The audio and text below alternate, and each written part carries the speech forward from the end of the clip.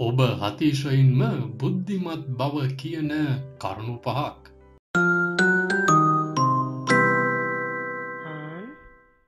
ඔබ ප්‍රශ්නහන්න බයනැද්ද.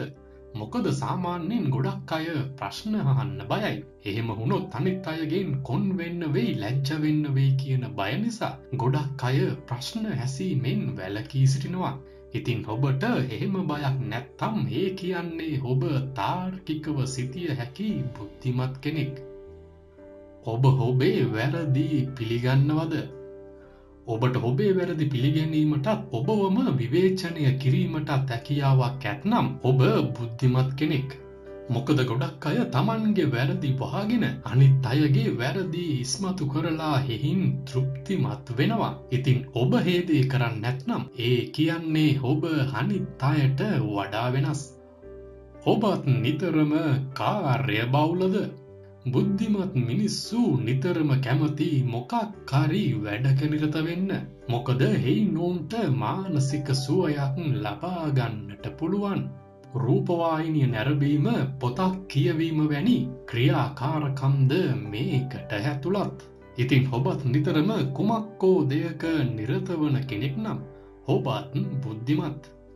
ඔබත් පිළිවෙලක් නැති කෙනෙක්ද ඔබ ජීවත් වෙන ස්ථානය හේමත් නැත්තන් ඔබේ කාමරය පිළිවෙලකට නැත්නම් ඔබ කොතරම් මුත්සා කළත් ඔබට පිළිවෙලකට යමක්තියාගන්න බැරිමනම්. ඒකෙන් කියන්නෙත් ඔබ බුද්ධිමත් බව. ලොව ශ්‍රේෂ්ඨතම බුද්ධිමතා විදියට සැලකෙන ස හැල්බර්ට් ටයින්ස්ටයිනුත් මේ වගේම චරිතයක් තිබුණු කෙනෙක්. දැන් අපි එනවා විශේෂතම කොටසට. ඔබ බුද්ධිමත් කියලා ඔබ පිළිගන්නේ නැද්ද?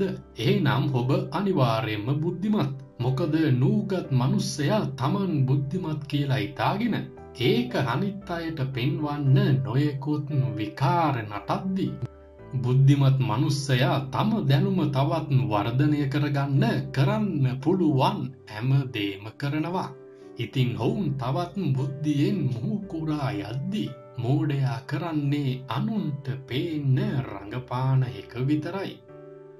මේ වීඩියෝවට ඔබත් තොදින් හැවුන්කන් දුන්න නම් මේ ප්‍රශ්නයෙන් අපිට බලාගන්න පුළුවන් ඔබත් බුද්ධිමත්ද කියලා. ඔබට ලැබෙන ප්‍රශ්නය ඔබ බුද්ධිමත්ද ඔබේ හදහසත් පහතින් කොමෙන්් කරලා යන්න අමතක කරන්න එපා. මේ වගේම තවත් වීඩියෝවකින් යළිත් තම වෙන තුරු මම ගිහින්නෙන්නම්. සබස්ක්‍රයිබ් කර අපේ YouTube චැනලයටත් එකතු වෙන්න. ඔයාලා හැමෝටම සුබම සුබ දවසක්. අපේ චැනලේ අලුත්ම වටිනා වීඩියෝස් බලන්න පහතින් තියෙන සබස්ක්‍රයිබ් බටන් එක කලික් කරලා මේ පුංචි සේනුවත් කලික් කරන්න අමතක කරන්න එපා.